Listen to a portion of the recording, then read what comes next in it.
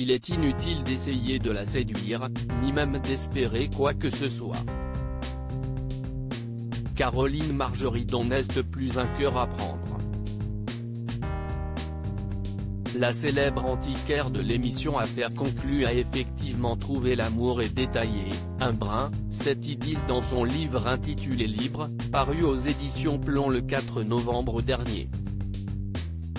Celui qui a la chance de partager sa vie Un certain Pascal, homme anonyme qu'elle surnomme Pépé dans les pages de son ouvrage, qui l'a séduite sans qu'elle ne s'en rende vraiment compte. En fait, il est comme moi quand elle a croisé la route de Pascal pour la première fois, Caroline Margeridon pensait tout simplement qu'il avait un penchant naturel pour les hommes. Si est pourquoi elle a accepté de lui céder son numéro de téléphone, comme elle l'a précisé, de passage sur Téléstar Play, sur le plateau de l'instant de luxe.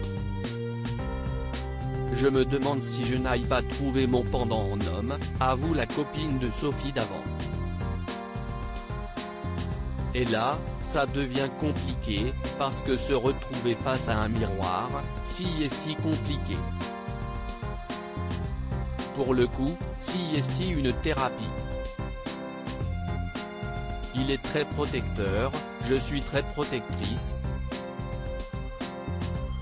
moi je suis tactile, j'ai besoin de câlins alors que lui, vous lui mettez la main là, j'ai l'impression qu'il s'est pris une décharge électrique, ça, ça me traumatise.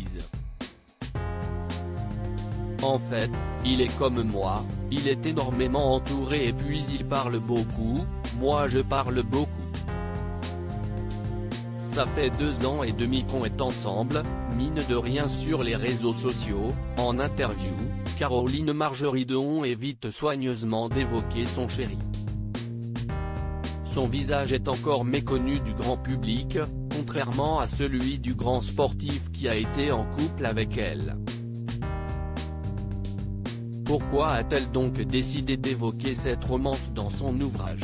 Pour des raisons pratiques. Ça fait deux ans et demi qu'on est ensemble, mine de rien, rajoute-t-elle auprès de Gala.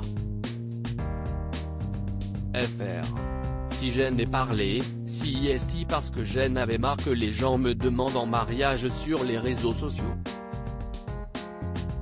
Au moins, si est acté. Est une manière de dire, laissez-moi tranquille, j'ai quelqu'un messieurs, vous pouvez ranger vos bagues.